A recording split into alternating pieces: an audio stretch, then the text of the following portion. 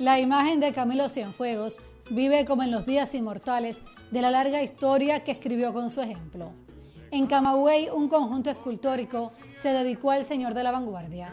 Ubicado en la rotonda de la avenida Finlay y la circunvalación norte, camino al aeropuerto, el autor de la obra fue el escultor Premio Nacional de Artes Plásticas José Villa Soberón. El reconocido artista concibió el proyecto a solicitud de la oficina del historiador de la ciudad.